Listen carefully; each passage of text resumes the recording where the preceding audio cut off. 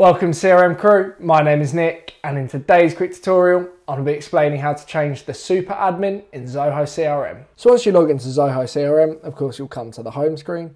Now in order to change the super admin inside of the Zoho CRM system, we need to go to the cog in the top right hand corner uh, to ensure you have administrative permissions. So I'll press the cog and then from here we want to go to general and then under the general tab we want to go to company details.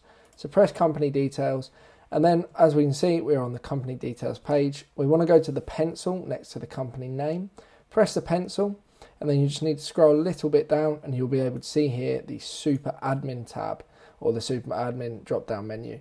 Press the drop down menu and then you'll be able to see here all the users inside of the Zoho CRM system.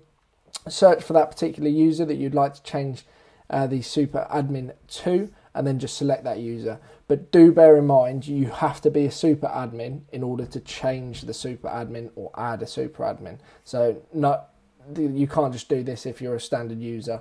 Um, so do do consider that. Uh, once you've made that change, just press the save button and then that will update inside of the Zoho CRM system. And that is how to change the super user in your Zoho CRM system. I hope this video has clearly explained how to change the super admin in Zoho CRM. If you do have any further questions, please drop me an email. My details are in the description below.